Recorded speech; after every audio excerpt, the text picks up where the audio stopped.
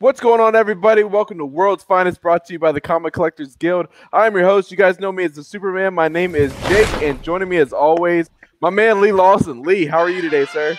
What's up, buddy? I am doing fantastically well, my friend, because we have an awesome show tonight, guys. If you guys are a fan of sci fi thrillers, then this is the show for you. We have the writer and director of the upcoming movie Mystery Deep with us, one Mr. Gordon Humphrey. Gordon, thank you very much for being here with us today. Thank you guys so much for having me. Oh man, very excited to have you. Listen, we know you're very deep into you know pre-production on your film Mystery Deep, so we really appreciate you taking the time. Uh, before we really get into this, Gordon, for our audience, why don't you uh, tell the audience a little bit about yourself, if you don't mind? Sure. Um, I'm 47 years old. I'm from a small town in Virginia called Culpeper. Um, father of two, uh, engaged to a very beautiful woman, Laura. Um, I was educated at the University of Virginia, where I um, studied uh, computer science. And uh, since then, I've gone on to do a bunch of cool technology projects, but nothing cooler than the musical projects that I've been a part of. So, spent the better part of my life uh, producing and writing music.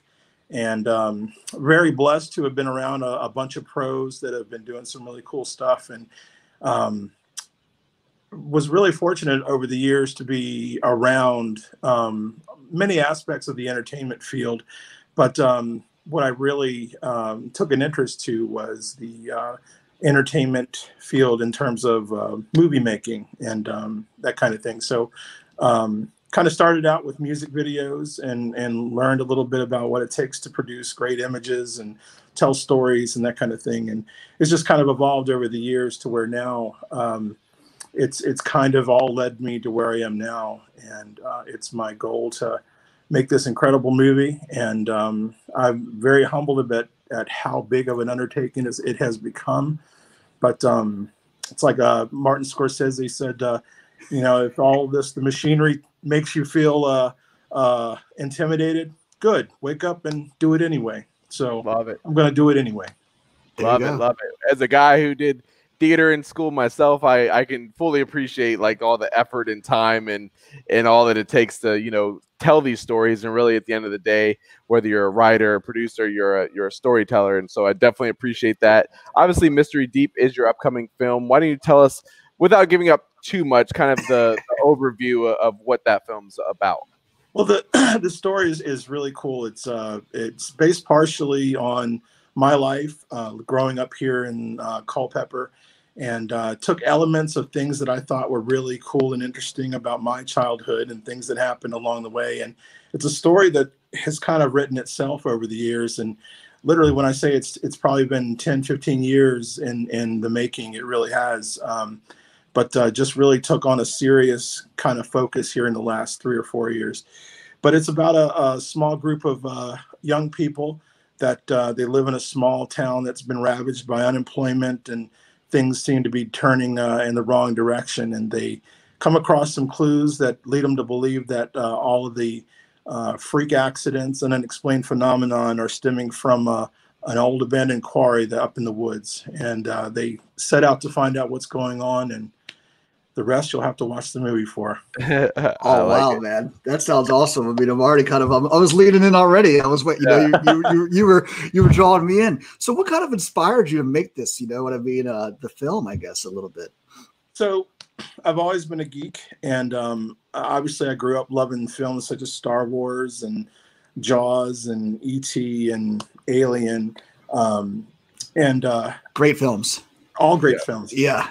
and without really knowing it, I've been a student, even as a young person, I was studying um, certain camera angles, way of, ways of telling stories that are more suspenseful and little things that filmmakers do to help draw the audience in and keep their, their attention. And so um, when I was shooting music videos, uh, I found it such a challenge to keep the viewer entertained for three minutes during a song. And so um, now it's the, the, the the body of work is a two hour film, and trying to keep the audience engaged from the first second to the last second is is such a huge challenge. But it really is. It's a for a creative person. It's a just a it's a field of dreams. It's it's there's nothing more you can ask for that better than two hours to just be creative, be creative, be creative, and um, and help tell an amazing story. So, but uh, I've always been a sci-fi fan, and so what I did is I took these elements of my childhood, things that stood out to me as as a young person that I really thought were was cool, or there was times when I was scared about this, or um, and it, things that I would go off the the quarry that's in the the film is actually the quarry that I grew up beside, and so we wove it into a very interesting story, I think, and some very very cool twists and turns. And um, I really, it's, it's my goal to make it the most successful and entertaining, low budget indie sci-fi film ever. There you go. I'm sure it will be. I'm sure. And I think it's really cool when you can pull from your own personal life or, or things that are personal to you because it makes you that much more uh, I guess have more compassion for it because it's part of you. You know what I mean? It, it really is a way of expression of a branch of yourself, uh, which I appreciate. Is this film? I have to ask, like, set in a certain period of time, as far as like a decade, and if so, you know, why that de- that particular you know point in time? Yeah. So the going back to uh, my experience in music, music has always been a passion for me. Um, just growing up, uh, grew up very poor, and um, it, music was always uh, just kind of a, um, a safe haven for me. I would always find myself either listening to music or writing music, and it always was a way of just kind of dealing with whatever life was throwing at me at that time. And so, fast forward to my adult life and producing music, my experience with music has kind of led me to hey, how can we marry the best of music with the best of entertainment and movie making? And to me, there's no better uh, era than the 80s. Um, the 80s were absolutely the most amazing time for a young person to grow up because the music was brand new. The MTV was was just becoming very popular, and the marriage of visuals to music was very new at that time. Where maybe not so much new, but the the creative process around putting visuals around a soundtrack was new. Mm-hmm. Um, and still to this day, I feel like people are still discovering new ways of marrying music with motion pictures. And unfortunately, since the 80s, I feel like uh, movie making has kind of lost that a little bit. You don't see a lot of movies that have a very heavy soundtrack like Miami Vice or Top Gun or Footloose, Flashdance, Purple Rain. Um, those movies were made great in part by the great soundtrack that they had. So so true, yeah, so very yeah. true, man. I mean, you just named some awesome ones right there. I mean, fantastic so, ones. So this this film certainly draws on uh, influences such as Stranger Things, and there's a number of other uh, uh, cool programs that are out now. But what I hope to do is to remarry great music with a great story. So well, what, you were describing that, and then you actually went on and named those classic soundtracks. You know what I mean? I can't wait with your musical background, and now you're yeah. you're dipping yourself into this film. I can't wait to see how you use this music and juxtaposed against other films that are in there. I can't really. It's going to be exciting. I'm yeah. sure you're going to do a fantastic job with it.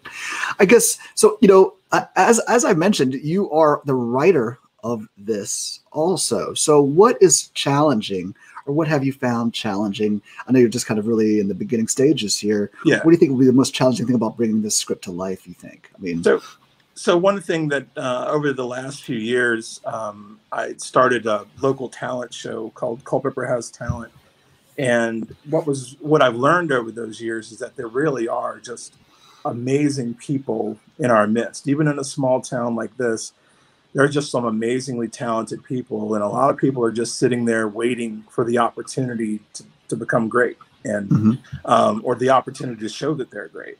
And it seems like the more and more um, I help someone, I'll, I'll, find somebody that's talented in a particular way. Up until now, it's mostly been music. Um, I feel like they thrive when they're given the opportunity, and so this entire film is going to be shot with uh, actors and actresses and crew members from Virginia. And the large majority of those folks are going to be here from um, the Culpeper area. So there's some from the Tidewater area, some from Northern Virginia, uh, and we're still casting right now. But um, my my goal is to try to make this a Virginia production and um, try to find some diamonds in the rough. So um, it's when you're starting out your first film, you can tell everybody what a great director you are, what a great storyteller you are, but you have to prove it your first time. And so it's my goal to find as many diamonds in the rough out here and to show people that we really can make a great film and you don't need a hundred million dollars to do it. Oh man, I bet. I Oh, mean, absolutely. I mean, you yeah. see companies like Blumhouse that make hits off of small budgets and and and knock it out of the park. And you know, coming from I'm I'm from Orange, Virginia, so just r- right ne- neighbors to you guys. Absolutely. you know, there's lots of talent out here. I mean, it'll be that, that's awesome that you're keeping it close to home because you know, there's I mean, even people like you know Brad Pitt and things like they're from small towns that you know you would never guess like oh there's one of the most talented actors ever there you know what i mean so you just don't know. You never know. You never know. exactly um so uh, with mystery deep what is your i guess target audience or who would you say would be like an ideal if you're if you're in a certain genre of movie who would be the the target audience for for mystery deep So in the beginning, I, I kind of had this conversation with myself because I, I'm a fan of so many different styles of movie. Um, but it seems like the ones that have impacted my life the most are the ones that um, not necessarily were were G rated, but not R rated. Um, so it's going to be kind of a family fun um, film that's kind of uh, uh, analogous to something Steven Spielberg would have done in his early Like a- days. Amblin, like an Amblin entertainment film. Amblin Is that Entertainment, kind of what it reminds me of, like a Goonies or a Gremlins or an ET, Goonies. so to speak. yeah So I feel like that that bar has slipped a little bit over the years. Like uh, what's a what's a PG thirteen production might have been back in the eighties, might have been an R rated film or whatever. So this will probably have a little bit more uh, teeth to it than a 1980s PG 13 production. But um, my goal is to make it uh, great for all audiences, and uh, but still offer a lot of thrills and excitement and scares and uh, a lot of stuff that uh, people, uh, even older folks, can enjoy. Awesome, man. Uh, real quick, I meant to ask you this earlier. You, you said this is kind of based on, you know, not based on, you know, around Culpeper being in a small town. Are we? Should we be on the lookout for anybody? Are there any characters that are based on other people that we might have known from, So, or that you knew back in the day? so my attorney says I have to say all characters are any any resemblance to any character or name is absolutely coincidental, and I'm going to stick with that. There you There go. you go. I love it, man. That's so cool. So you had mentioned, I mean, I would imagine, you know, uh, of films. You, you mentioned some awesome films that that that inspired you in the past. Um, you said Alien, I guess, the, and uh, some other ones like that, and the Amblin Entertainment ones. Yeah. So that's that's that's really cool, and I can't wait to see what you're going to do with this. I mean, the it's it's going to be really exciting, I guess. Is there a time frame that we probably should maybe be looking out for? Maybe when this might be. I mean, I know we're still getting in the pre-production stages and all, but Yeah. when this might be released or So uh, we are starting filming of a 10 minute segment of the film um, and uh, late October, um, maybe a November timeframe. And uh, my goal is to release that 10 minutes of the, the film, which will be the first 10 minutes of the movie, to kind of give people a sense for what the movie is going to be. And um, after that, once that's put out, we also use it as kind of a promotional piece or whatever. Again, because a lot of people still, I, even my friends, I don't think they really know what to expect. And um, as amazing as I know the film's going to be, I have to show it to them first. So Mhm. This this ten minute uh, teaser is just to kind of show people like this really is uh, a legit film, and I don't care that we don't have a big Hollywood budget. Like there's so much you can do with just being creative and pulling in the right people, putting them in the right places. Um, I really do. Uh, it's it's it's my intention to shock people with what you can do if you just refuse to. I, I tell people that are involved in the film all the time: as long as you don't let a piece of mediocre film or a substandard shot hit the final cut, then you're, you're going to win. As long as what, everything that you put on the final cut is amazing, eh, no one can take that away from you. So Exactly. um, So just want it to be a, an amazingly entertaining film, and we'll shoot for as long as it takes to until it is just a great, great film. So, but the goal is to release it uh, next December, uh, Christmas time frame. Hopefully, this COVID stuff will have Yeah. gone by the wayside by then, or at least offers people an opportunity to go to the theater and see it. Um, I know we're going to plan a big premiere here in Culpeper and uh, maybe in a couple other spots where we shoot. Wow. And um, so yeah, it uh, it's it's really exciting. I just I, I could talk about it all night long, but uh, but it's going to be amazing. You have my word. I tell you what, man, you're on the right track with your mindset. I absolutely love you know the positivity and and I think that's really if You have the confidence and you have the passion to know you know what your target is and what you're going for. You know, you're if you aim for the stars, you're you're gonna get there. You know what I mean? So I definitely appreciate that mindset. Uh, obviously, you mentioned some like the Spielberg films, Goonies, which are classics. Did you really get inspiration from any particular filmmaker or or a previous film Absolutely. that you saw? It was like, hey, like I want to make a movie like this guy. You know what I mean? Well, I'll never forget the first time uh, I went to see The Empire Strikes Back in the theater. I was young young kid and I actually saw The Empire Strikes Back before I saw Star Wars. I was late to the the party, um, so I didn't really know what to expect. But I just remember the the lightsaber fight scene between Luke and Darth Vader uh, on the, in the Bespin Cloud City. And while I didn't realize why it was so breathtaking at the time, I look back on that as probably one of the most amazing pieces of, of sci-fi film ever, just from the use of color in the background to the how much development they spent on the characters and the costumes, the wardrobes, the sets, the the camera angles. It's just there's so much uh, that George Lucas did with his films um, that are just they're baked into everything I do. Uh, and I, I wouldn't say that he's my favorite of all time, but probably he was my earliest influence. And uh, Steven Spielberg, I felt like uh, kind of took the baton from from George Lucas and went on to do some incredible stuff with Poltergeist, E.T., you know, Raiders of the Lost Ark. I think is probably one of the best popcorn films of all time. Uh, sure. It really is just such a great film. So and and since then, I there's some more mature filmmakers. Uh, Michael Mann is is somebody that I really really admire. Um, his film, but probably not his most popular, but his film Collateral with Jamie Foxx and Tom Cruise um, to me great was just movie. a great, great yeah. movie.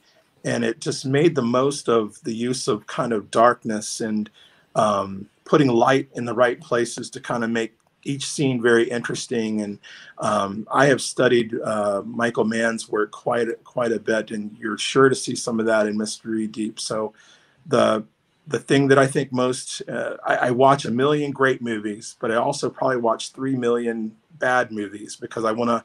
Oh yeah. Le- I want to learn where the the pitfalls are. Why why did this idea that seems so great? Why did it fall short? And um, one of those is lighting. And the one thing that I know that is that between sound and lighting, those are the two main areas I think that on low budget films they get overlooked and it's the one two areas that i promise you won't be overlooked in mystery deep it's so cool man i mean it sounds like you got it ready. You know, it sounds like you have everything in place in order yeah. to make this a fantastic movie.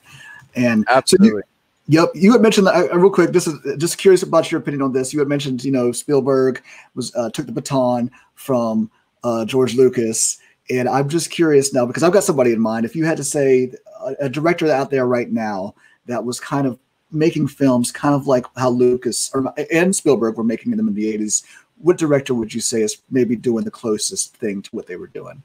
And I'm, I'm, so, I'm curious to your thoughts so as a lover this, of cinema.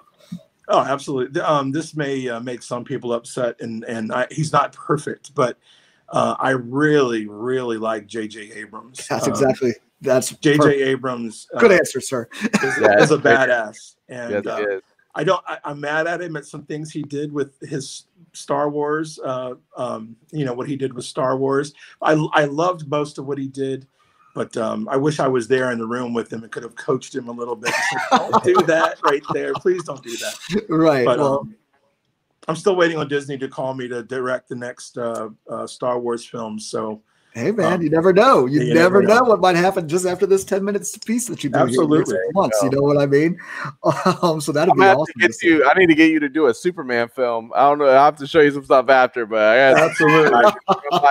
but uh, I would. I mean, actually, off the top too. One thing, a movie that we talked about. I loved when you talked about the score and like the sound of a movie. One movie that came out in this past year that me and Lee actually reviewed and we talked about that. It, I think really shows uh, the importance of like good sound is Joker. Um, that Absolutely. score in that movie was literally a character in that film. Like that, it pulled you all the way through. You got the the the gravitas of the scene strictly off of the score. I, I told Lee you could close your eyes and just listen to the score, and you could almost tell whether it's an intense scene, you know, a sad scene, uh, uh, an angry scene. I mean, it was so beautifully done into a person that uh, like Hans Zimmer or John Williams, like their impact on cinema gets so under, like it's amazing as they are, you know, they get so overlooked of how important they are. Is there a particular composer or a particular score in a movie that you were really like, wow, like this is this is this is this is special? Well, I think that's a great example. Um, there were some amazing performances, like uh, Phoenix's uh, yeah. performance as the Joker just can't be it can't be overstated how amazing that was. But I think it's a great example of a film that if it had a different soundtrack, oh yeah, that film would not have been received the same way no. that it was. I, I, really think they did a masterful job of keeping the mood very grim and and slow and brooding and and just really fantastic. I, I totally agree with that. But I just um, I know there's a lot of great composers out there, but there's there's no one like John Williams to me and. Um, the the work that he's done it just amazing. So, and it's very um, humbling when you sit down to make a movie.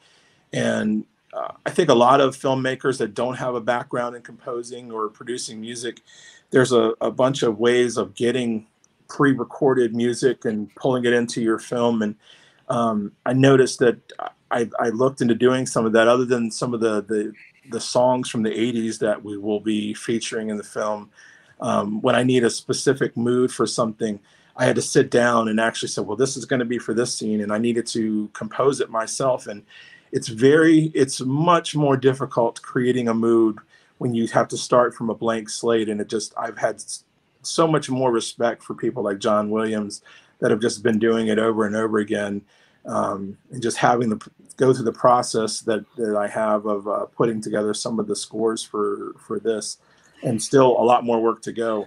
It's uh, just such a huge undertaking, and um, it's probably one of the secrets of great filmmaking is like you can put a great picture in front of the, the camera, you can tell a great story, but without that soundtrack and score, it's a totally different uh, vibe, and um, it really affects how the film is received. Well, we've got to know that with you, like I said before, I'm just saying it again, with your musical background, the, the music that's going to be used in this, I mean, will be just fantastic. You know, I can't, I can't wait to be able to see exactly what you create with it. Uh, you know, and just the teases that you've dropped over the past few months. You know what I mean? Little teases of here and little things that you've done for for Mystery Deep, um, just through social media and things like that. I mean, have just whetted the appetite. You know, just can't wait. I appreciate that, Lee. Yeah, really it's going to be really good. Can't wait.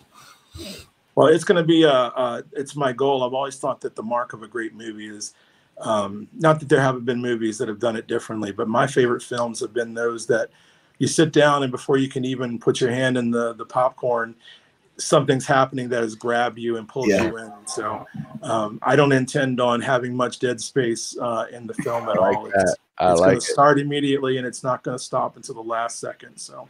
Awesome. I like it. Well, we appreciate you taking some time to talk about, you know, Mystery Deep. We're super excited. Uh, I don't know who I need to bribe to maybe get a part in this thing, or you know, order a water bottle or something. We should talk. We should talk. But uh, we really appreciate you taking some time, and uh, you know, obviously, guys, go see this film. It's going to be masterful. We're going to keep you up to date with you know when things start filming when it wraps where and when you can go see it and uh, we're really really excited and, and truly believe it's going to be just awesome so thank you again. And uh, if there's anything we can do on our end, we're we're we're all on board with it. Indeed. Well, thank you guys so much for having me and supporting the film. And I'll definitely keep you guys uh, up to date. And maybe we can uh, get you guys on set a few times and do some broadcasts from the set. And yeah, yeah, we love it, man. Put you in a in a scene or two. There you go. There you go. Sounds great to us. We're there. Count us in. Count there us in. Hey, you heard it live, guys. If we're not in there, that's right. there you go. But uh, no, we appreciate it, guys. Check out our website www.comiccollectorsguild.com. Hit that subscribe and like button, and uh, we're gonna come with you with a lot more mystery deep as well as some other movie news. Uh, until next time, Lee. It's been awesome, man. Keep hunting, guys. Gordon, Thank thanks you, again, guys. buddy.